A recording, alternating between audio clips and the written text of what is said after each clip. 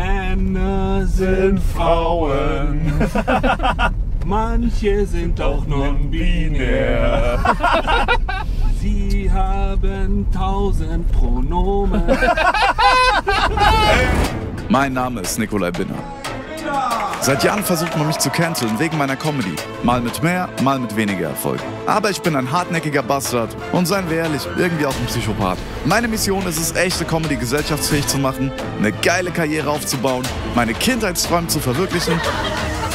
Ach und ja, die Welt will ich auch verbessern. Alter, das muss doch irgendwie machbar sein.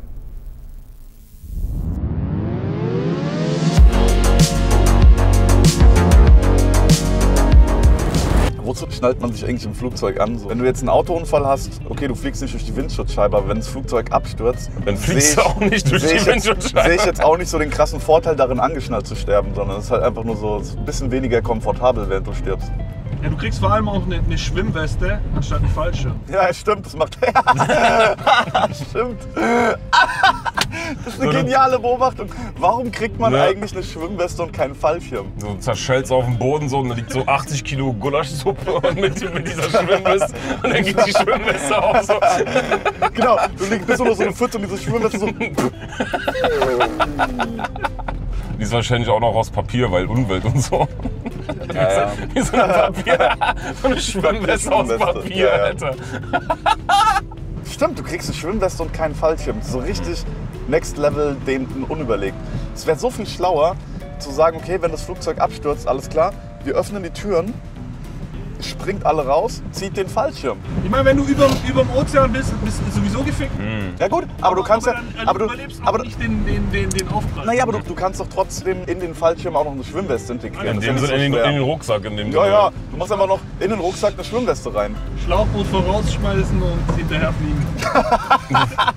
So eine richtige Navy Seal Action. Ja, deswegen so du, 20 Euro Billigflug und kriegst du so einen Haken, so wie bei der Ja, ja, Bundeswehr, ja, sobald ja. du rausspringst, dass der Rucksack, dass der Fallschirm automatisch aufgeht. So. Und jedes Mal, wenn die sagen so, okay, wir haben Turbulenzen, äh, äh, wir versuchen einfach gar nicht zu landen, sondern es wird halt echt einfach immer mit dem Fallschirm dann ausgestiegen.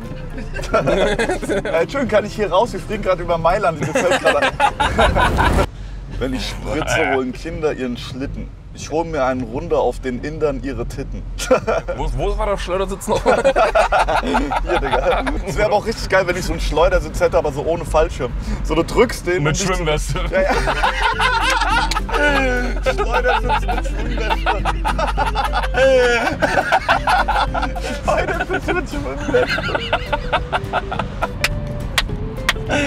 Oh, das ist herrlich. Elhamdulillah. Hamdullah, du. Finde ich auch. Richtig, du hast richtig Hamdullah, du. Elhamdullah, du. Hier. Ah, Ich bin da kulturell bin ich offener. Ich esse auch manchmal bei Minder so mit schicken Maschallah.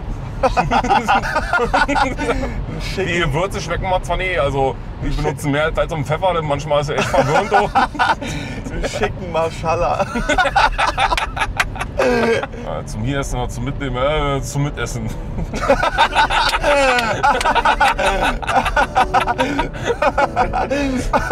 Zum Mittagessen.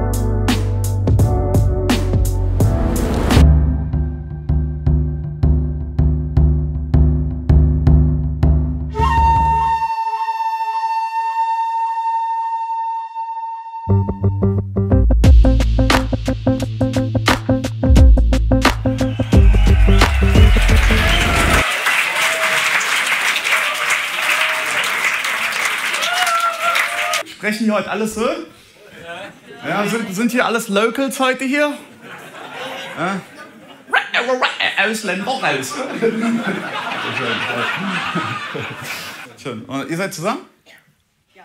Cool. Dann- Habt ihr gehört, wie er kurz so. Jupp.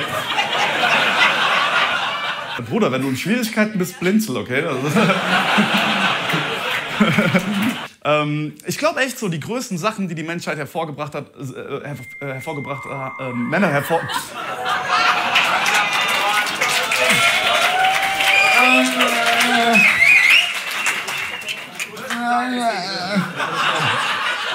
Ich klang gerade fast wie einer aus Jena, wa? Spaß, Leute, Spaß, Leute, Spaß, Leute. Kennt ihr so normale Menschen, so normal normale Menschen? Nee, gar keiner hier, ne? Ja. Alles nur Team Telegram hier, alles klar. Alle, sobald sie wieder zu Hause sind am Rechner, oh, Klaus Schwab ist ein Roboter-Eidechse.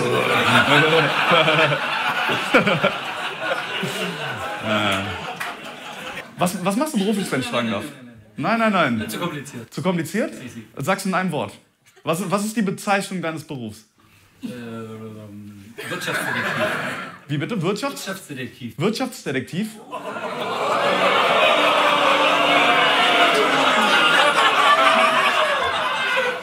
Ich wusste, dass das Finanzamt irgendwo so einen einschleust, Alter.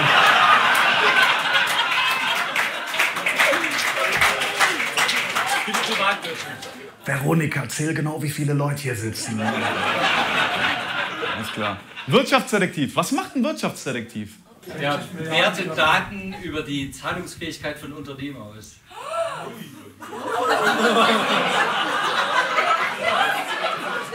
Sie hat gerade reagiert, als hätte er so das erzählt, dass er seine Schwester verprügelt oder so. Weißt du? Die so, Dieses Schwein macht was?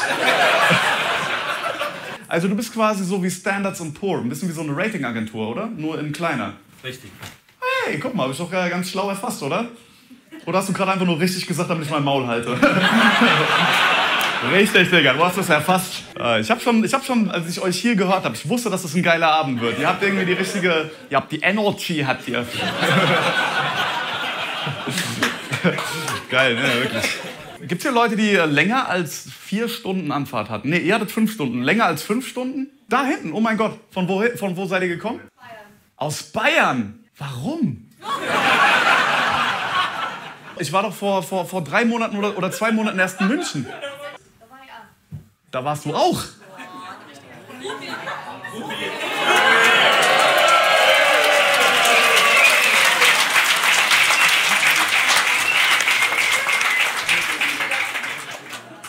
Mit wem bist du heute hier? Ah, ist es dein Freund? Na toll. Na gut. Gibt's handwerklich begabte Menschen heute hier? Ja, du, was machst du? Chemikant. Chemikant? Wa- Was ist Chemikant? Ja, also quasi ein Chemielaborant im großen Stil. Oha, okay. Ah, Hast du so ein, in so einem, hast du in so einem Trailerpark so ein Labor oder? Kann aber auch so gut mit Holz arbeiten. Das ist klar. Okay. Also ich stelle zwar Meth her, aber ich kann auch gut mit Holz arbeiten. Okay. Okay. Du, du, du wirklich? Richtiges Haus. Okay, das, YouTube. Das respektiere ich so. Du hast, du hast bei YouTube gelernt, wie man ein Haus baut und hast es dann gemacht? Klar. Bruder, du bist eine Legende, Alter. Alter. Das kann jeder. Das kann jeder. Nee. nee, das kann nicht jeder. Also für mich ist es ein absolutes Rätsel, wie man einfach auf so einen leeren Schotterhaufen guckt oder auf eine Wiese und sich denkt, gut, ich fange da mal an. Das ist, äh, Berlin hätte ich auch nicht gemacht. hä? Ja, in Berlin auch nicht. Warum? Warum nicht in Berlin? Wegen den Leuten. Wegen okay, danke. Äh, wo hast du dein Haus gebaut? Richtung, also in Thüringen. Thüringen. Äh, Richtung Thüringen. Sind wir nicht gerade in Thüringen, Alter?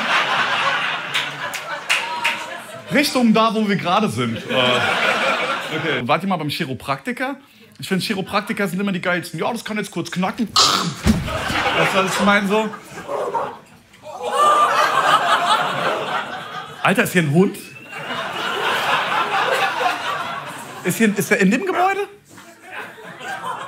Ey, das ist der krasseste Hund, der einfach so eine gesamte Comedy-Show durchhält, ohne einmal zu lachen. Das ist unglaublich. Wem ist dieser Hund? Oh. Guck mal, wie süß. Guck mal, guck mal, wie er auch einfach so diesen Hitlergruß gerade macht. Alter. Das ist richtig geil.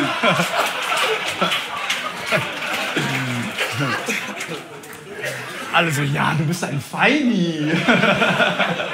Reihe Okay. 3 ist auch einer. Reihe 3 ist auch noch einer? Ja, ist noch. Der ist noch braver? Ja, stimmt, von dem habe ich auch noch gar nichts gehört. Und was ist das für einer? Hamster. Hamster, ah. Ein schwarzer.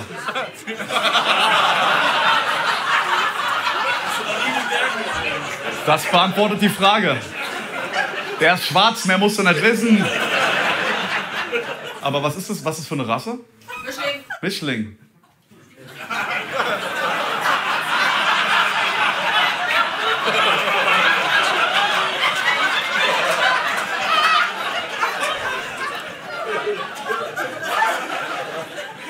Ich weiß nicht, was mich gerade mehr stört. Deine Antwort oder wie du geantwortet hast. Also es klingt so, als würdest du im Gefängnis arbeiten, so als... Äh Mischling! Der Kollege da im Zellenblock 3, Schnauze halten. Äh, Krankenhaus. Krankenhaus, wirklich? Ah, okay, dann kann ich es verstehen. Du bist Krankenschwester. Hier in Jena? Ja. Okay. Was ist so die häufigste Sache, mit der Leute so ins Krankenhaus kommen hier? Nee. Corona? Schon damals nicht, oder? Nee, aber was, was ist so das häufigste, mit dem die Leute so auf die äh, Intensiv kommen? Also, also jetzt gerade was witzig ist, was ist das Witzigste, mit dem die Leute sterben? Krebs! nee, nee. okay, aber nee, so ungefähr statistisch gesehen. Das, das weiß ich nicht. Weißt du gar nicht. Das ist ja jeder in seiner Fachrichtung. Jeder in seiner. Was ist deine Fachrichtung? Infektiologie. Infektiologie. Jetzt haben wir es wieder, jetzt haben wir es wieder. Oh. Können wir dieses scheiß Corona-Thema jetzt vermeiden oder müssen wir da. kommen wir da jetzt nicht mehr drum rum? Infektiologie. Okay, ähm, das heißt, du musst ja dann eigentlich, du warst ja an vorderster Front irgendwie so damals, oder? Ne? Und war. Und hatten wir eine Pandemie oder nicht?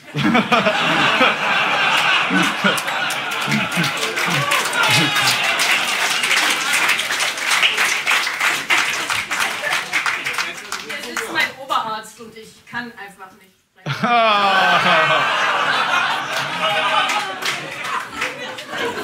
Echt jetzt? Ja, Okay, aber wusstest du, dass er hier ist oder Zufall? ja, wir kennen uns. Ah, ihr kennt euch, okay. Der ist auch noch Okay, und Herr Oberarzt, gab es jetzt eine Pandemie oder nicht?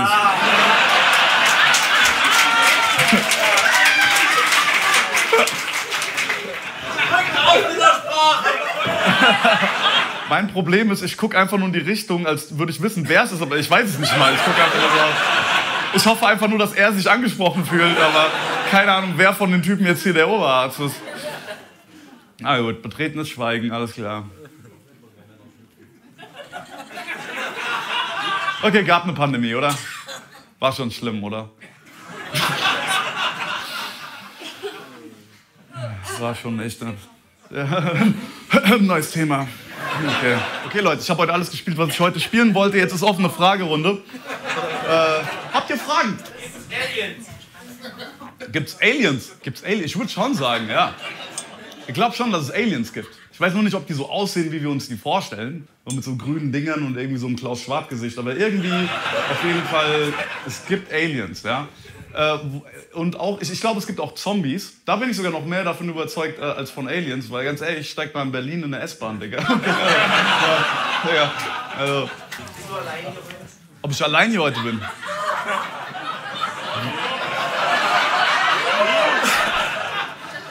Das kommt drauf an, wer gerade gefragt hat.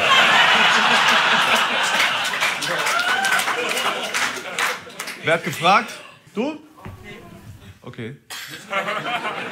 Keiner will es gewesen sein. Jetzt wird es wieder keiner gewesen sein. Ja. Aber bei der ganzen Ecke sage ich eh schon mal nee. Nein, nein, nein, nein, Spaß, nein, nein, nein, nein. nicht, ey, nicht persönlich nehmen. Ihr seid einfach nur die, äh, die, die falsche Generation. Also ihr seid einfach eine andere Generation. Ihr- Ihr seid einfach nur eine andere Generation in die falsche Richtung. nein, nein, ihr seid wunderschön. Für euer Alter seid ihr Topmodels, aber ähm,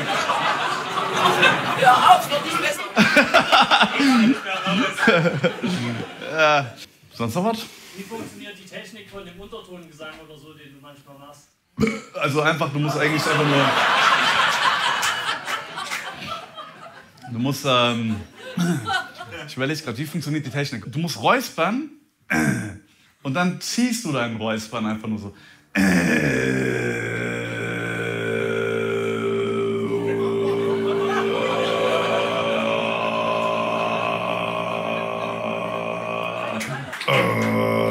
bitte wählt nicht die Grünen. Äh.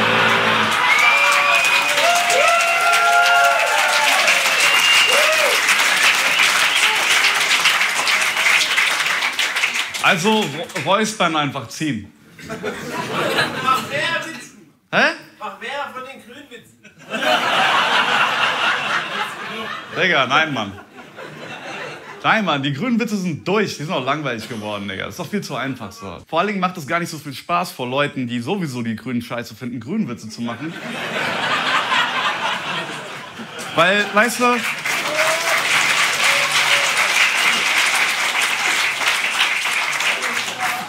vor, vor euch müsste ich Kinderwitze zum Laufen bringen. Das würde mir mehr Spaß machen. Weil das wäre Arbeit. Ja. ja, Leute, in diesem Sinne, ich würde sagen, wir holen mal frische Luft. Geil, dass ihr da wart. Und jetzt macht erstmal Lärm für euch selbst, dass ihr heute mal rausgekommen seid. Na dann, schönen Abend noch. Ciao. Tschüss. Wie kommt ihr denn jetzt nach Hause? Danke. Auto Berlin, jetzt. Warum?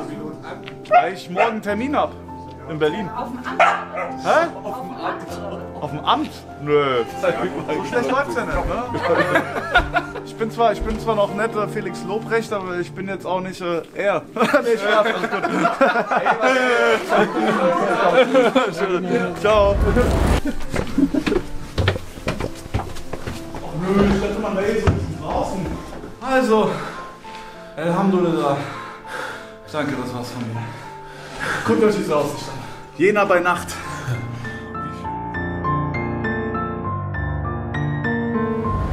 Schöner Türm, Türm, schöner, schöner, schöner Türm, Türm, schöner, schöner, schöner Türm, Türm. Bruder, hast du dich jetzt in drei Stunden aufgehoben? What the fuck? Kann ich No limit.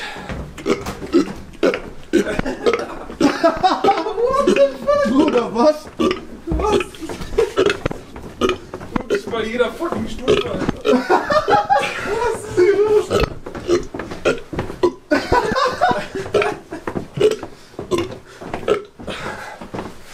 Luft holen?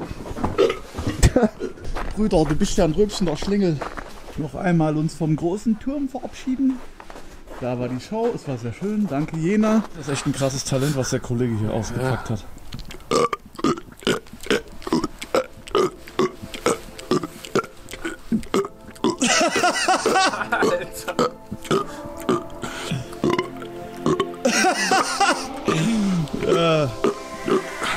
Stand-Up-Show so. Okay, Olli, du hast ein wunderbares neues Lied geschöpft. Sing's doch noch mal bitte vor für meine Fans. Männer sind Frauen. Manche sind auch non-binär.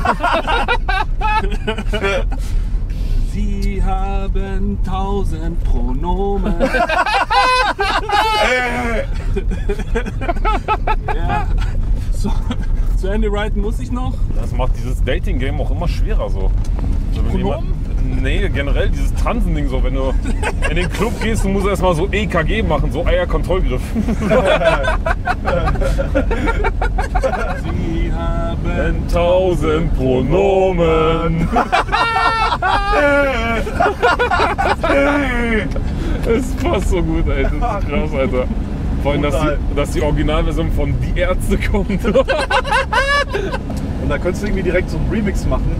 Dann kommt von äh, direkt als Herbst, als nächstes von Herbert Grönemeyer dieses On the Sun, Mann, mein Mann. Ich habe den auch nie, auch als Kind, ich habe nie verstanden. Ich habe On immer das. Mann. On ist ein Mann, ein non-binärer Mann. Männer haben Muschis. Männer haben muss ich. M- Männer sind manchmal Frau. Jetzt haben ihre Periode.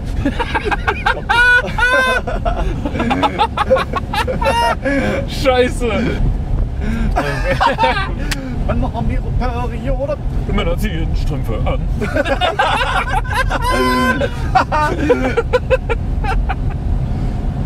Männer haben nicht Strumpfhosen. Männer, Männer ziehen, und Männer ziehen High Heels an. Männer werden manchmal feucht. Männer klappen die Brille hoch. Und setzen sich manchmal hin. Und trinken Latte Macchiato, Cappuccino. Cappuccino und Nachi.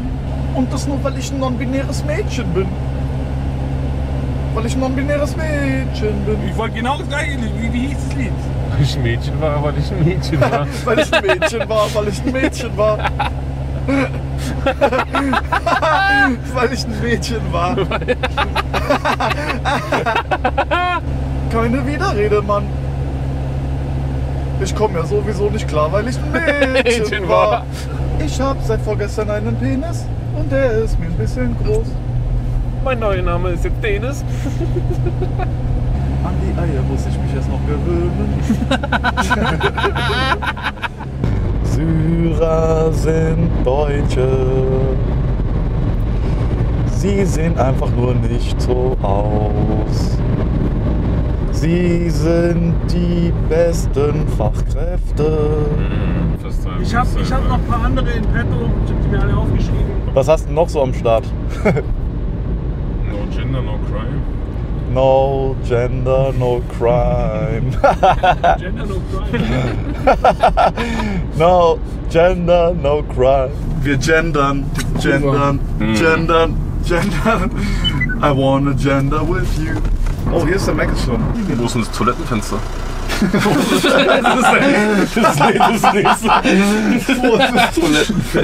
Ach, Waller, die Waldfee. Jetzt erstmal schön pissen.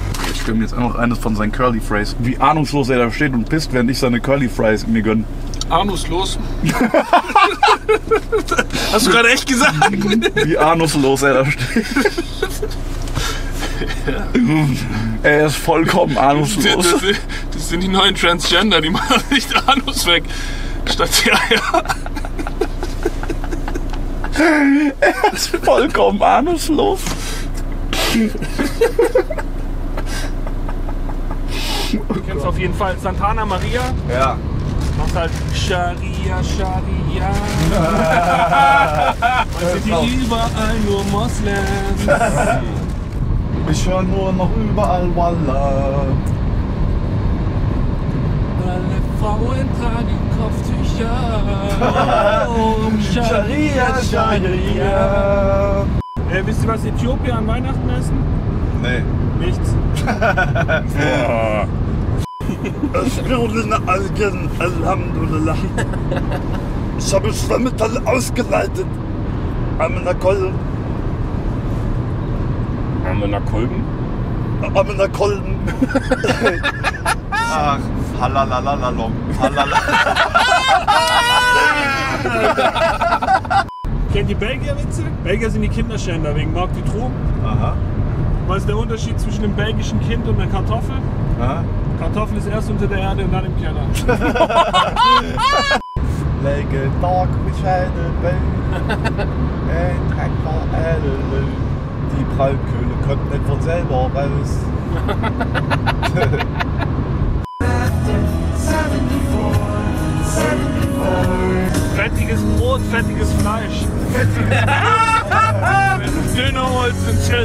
abgefuckt. Fettiges Brot, fettiges Fleisch. Gab es auch mal diese Songverhörer. Hä? Na, es gab in dem Sinne diese englischen Texte, die aber in der Aussprache so komisch waren, dass äh, auch deutsche Sachen so äh, äh, Deliverance, wie hieß das nochmal? Da sagt er auch, hau auf die Leberwurst. auf die Leberwurst. Ich hab jetzt schon so Vorfreude, Alter.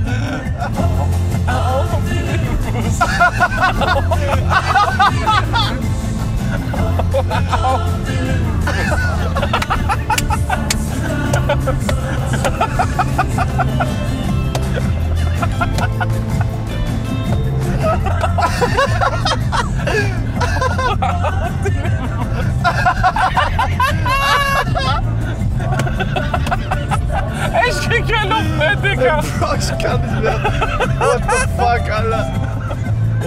nicht mehr, Digga. Das ist.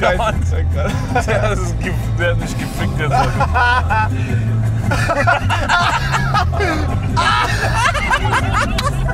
Hör auf, bitte! Ich kann nicht mehr, Alter!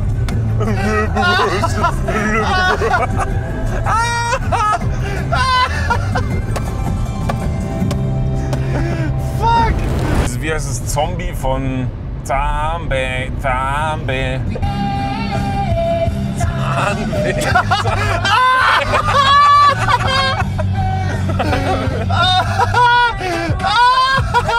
Der hat mir neulich so ein geiles Video gezeigt mit den äh, Hitler-UFOs. Unglaubliche Zeugen haben unglaubwürdige Fakten geliefert, angeblich von fliegenden Untertanen. Sind es außerirdische Sexgeräte oder optische Enttäuschungen? Oder gibt es einen noch? Am häufigsten werden scheidenförmige Fuck-Objekte, kopfförmige Bissfahrzeuge oder dreieckige Vierecke gesehen. Viele Menschen glauben, dass viele Menschen glauben, Kommen meine sehr verehrten Damen und Herren, TV Blair Sound. TV Blair Sound.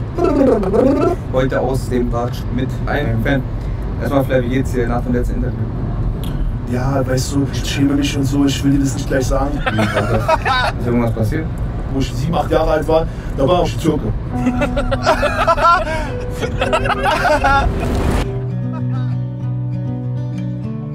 Salami alaikum. Mich haben ein paar Leute gefragt, äh, oder ehrlich gesagt, mich hat niemand gefragt. Ich will einfach drüber reden. also nee, es haben mich tatsächlich ein, zwei Leute gefragt. Äh, womit filmst du deine Videos und womit filmst du deine Vlogs? Also ich nutze die Panasonic Lumix S5 II. Die finde ich extrem geil, ist eine super starke Kamera, ist für den Preis absolut der Hammer. Ich denke, für den Preis kriegt man vergleichbar keine Kamera. Ich benutze sie wirklich für alles. Ich benutze sie zum Vloggen, ich benutze die, um meine Shows abzufilmen. Ich benutze sie jetzt gerade hier im Studio. Also man kann sie wirklich in jeder Situation einsetzen. Äh, nein, ich werde nicht von Panasonic gesponsert oder bezahlt. Schön wär's. Panasonic, wenn ihr einen Sponsordeal mit mir haben wollt, meldet euch. Und äh, wo habe ich die gekauft? Ich habe die äh, gekauft bei Fotomundus. Fotomundus kann ich euch einfach empfehlen. Ist ein saustarker Händler. Und auch nein, Fotomundus hat mich auch nicht dafür bezahlt, das zu sagen. Also ja, jetzt wisst ihr, wo ich meine Kamera her habe und was eine ich benutze. Wenn ihr übrigens mehr Infos darüber haben wollt, generell so, hey, wie schaffe ich das, dass meine Videos aussehen? Und wenn ihr wollt, dass ich ein bisschen näher so in die Materie einsteige in Bezug auf Ton, Video, Belichtung, äh, wie schreibe ich meine YouTube-Videos, wie skripte ich die, bla bla bla. Wenn euch das interessiert, kann ich da gerne mal noch mal ein designiertes Video dazu machen. Wenn euch das interessiert, schreibt das einfach mal in die Kommentare. Und wenn ich das Gefühl habe, da sind ein paar Leute, die das interessiert, dann gehe ich da gerne noch mal näher drauf ein, wie man insgesamt so eine Bildkomposition hinkriegt, wie mein Studio so allgemein aussieht. Und ja, Ach und übrigens noch was, wenn du meinen Kanal feierst und das, was ich mache, dann abonnier doch saugern meinen Kanal oder werde sogar Kanalmitglied, dann kannst du das unterstützen, was ich hier mache. Ja, das war's auch schon. Danke.